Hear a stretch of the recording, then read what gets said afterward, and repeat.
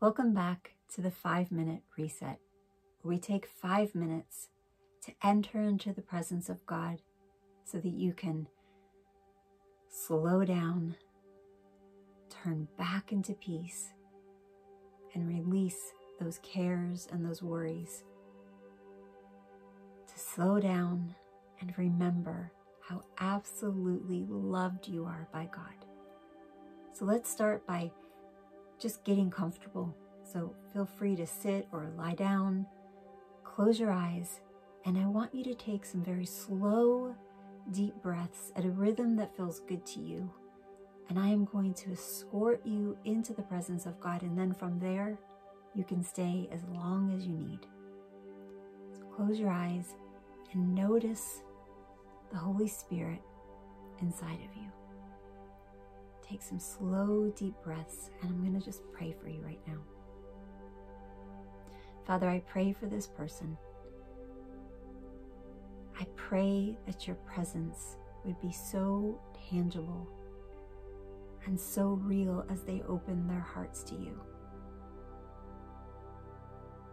I pray that every distraction, every overwhelming, overbearing thought or concern or fear would be washed right now in the fires of your love. So just stay in that place. I want to read a scripture to you from Song of Songs, chapter 8, in the Passion. This is Jesus speaking to you right now. Fasten me upon your heart as a seal of fire forevermore. This living, consuming flame will seal you as my prisoner of love. My passion is stronger than the chains of death and the grave, all consuming as the very flashes of fire from the burning heart of God. Place this fierce, unrelenting fire over your entire being. Rivers of pain and persecution will never extinguish this flame. I want you to go back to what we did yesterday, where we are kneeling or sitting in front of the burning bush that Moses saw in the mountain, knowing that it is literally the passionate love of God burning in front of you. And I want you to see whatever worry, whatever stress, whatever distraction that you've recently been facing, I want you to place it in your hands. Just cup it in your hands and extend your hands into that fire, knowing that it isn't going to hurt you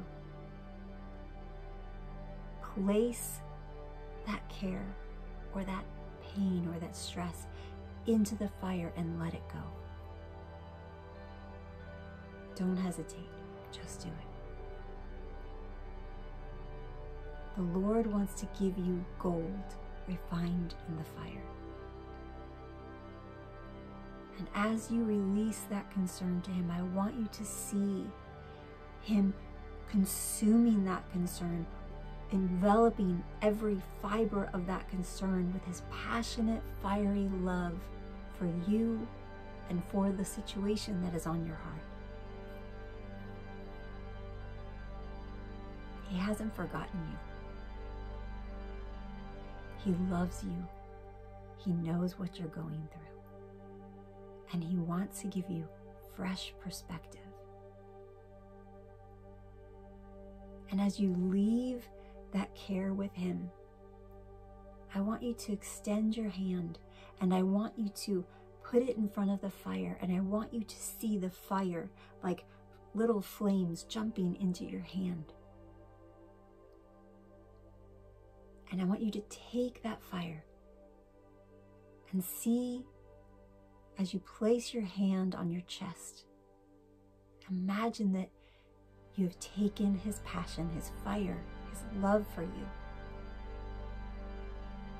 And he is now sealing you, sealing your heart, sealing that place that was so overwhelmed with concerns. He's sealing you with his love and his passionate fire. And when the time is right, he is going to show you how he sees that concern or that stress or that situation. So I encourage you, stay in this place with him.